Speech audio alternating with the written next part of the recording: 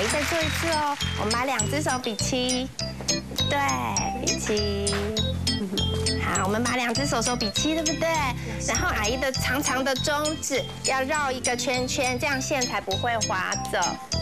嗯，好了之后，阿姨说要像拉小提琴，对不对？慢慢的通过那个紧紧的牙缝。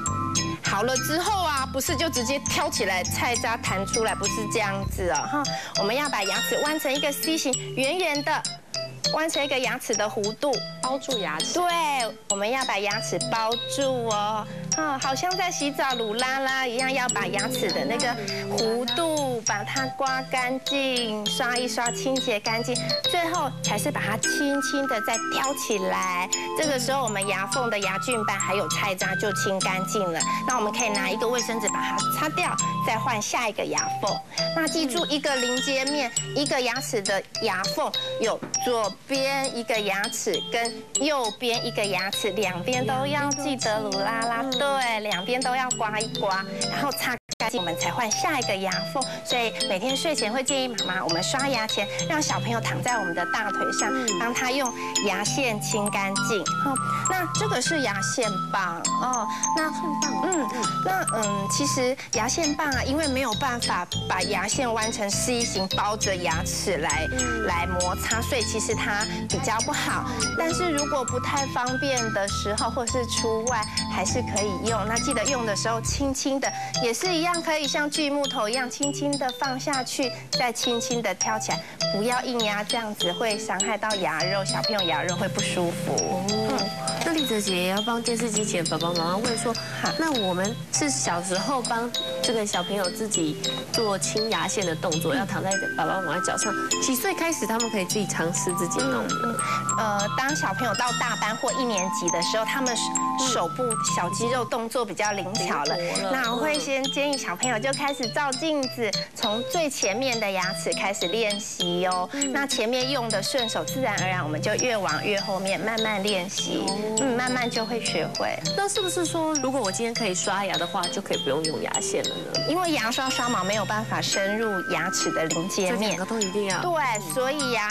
再怎么忙碌，再怎么想睡觉，睡前刷牙前最好至少都要用一次牙线。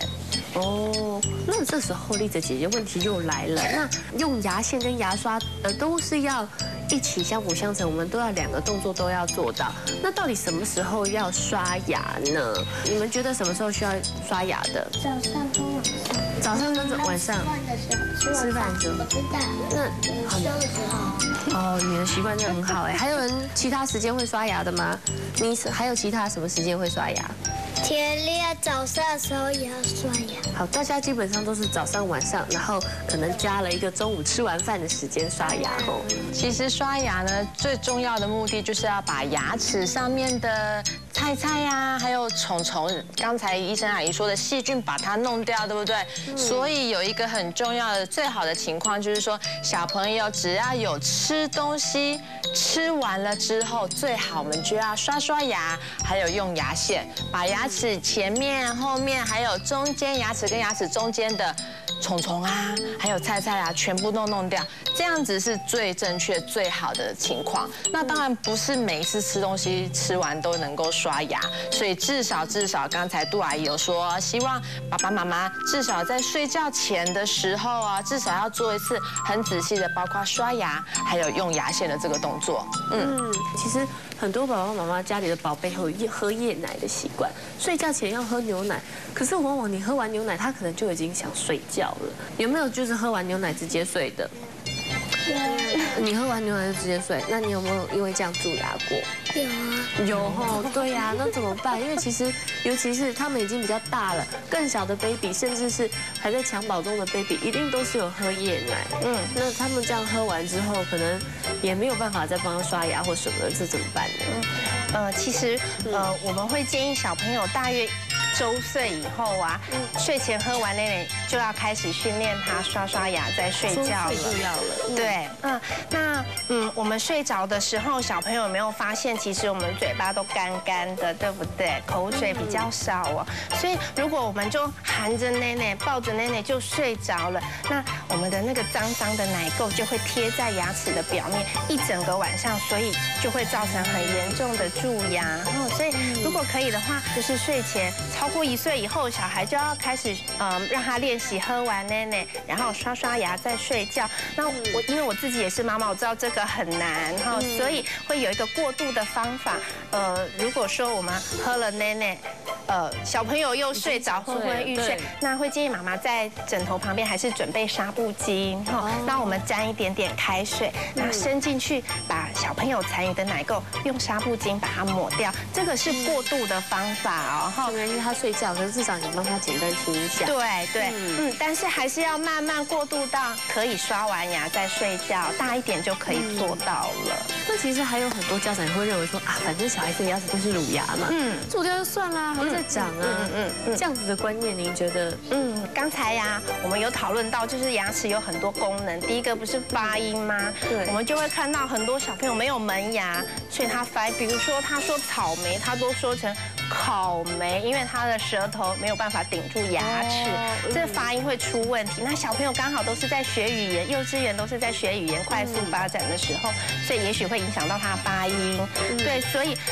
呃嗯，蛀牙对发音来讲也会有一些影响。那再来就是咀嚼，有很多小朋友治疗好牙齿，妈妈跟我们说他都肯吃肉、肯吃菜，因为东西不会卡进牙缝，他就肯多吃了，也体重也增加哈。发育，嗯，对。然后第三个就是美观呐，因为没有治疗，会看到有些小朋友蛀成黑的，他上幼稚园都不敢开口笑，会影响到自信。对，黑黑的其实就是蛀得很惨。哦，对呀，嗯。然后还有一个很重要。的功能哦，其实我们的乳牙它都现在有一个卡位的功能，哈，就是说将来乳牙不是都会换掉吗？底下会有新牙齿要出来哦。对，如果乳牙都蛀的烂烂，都蛀空了，哇，那后面的牙齿可能都倒来倒去的，哈，以后新牙齿要长的时候就没有位置长了，牙齿会乱七八糟的哦。对，那时候到时候更麻烦，还要去矫正，对不对？所以因为有这么多重要的功能，所以阿姨还是会建议说，如果发现小朋友有蛀牙，还是啊，可以带来让医生评估需不需要做治疗。嗯，所以也不是说反正乳牙换掉了就没事，就让它住吧。其实这也是一个错误的观念，蛮消极。真的是从小就要好好保养自己的牙齿，这样以后大家才会有天使的笑容，吃东西也能够轻轻松松、健健康康的，不会说啊吃了以后好痛，对不对？今天大家有没有学到怎么剔牙呢？有有。好，那以后回去，你们现在会自己剔牙吗？还是爸爸妈妈帮你剔？我会自己剃。哇，大家也都是会自己剃，尤其是刚刚伊莎已经教大家怎么样拿牙线，然后应该要把左边、右边都要挖一下，才会把真正脏东西统统都清出来哈。嗯。好棒哦！我们回家，你们还可以教爸爸妈妈说，我今天学到最正确的剔牙方式了。好，我想今天的节目大家都已经学习到怎么样做好牙齿保健，这样大家以后都会有天使般的笑容，也不用再忍受牙痛的痛苦喽。谢谢大家观赏小小同乐会，下个礼拜还有更精彩的节目，我们赶快大跟大家一起说拜拜，叫大家下个礼拜要看哦，拜拜。今天来到小小童乐会，学到非常多的知识哦。不仅听到好听的故事，还学到呢怎么照顾牙齿的知识呢。今天真是开心的一天呢。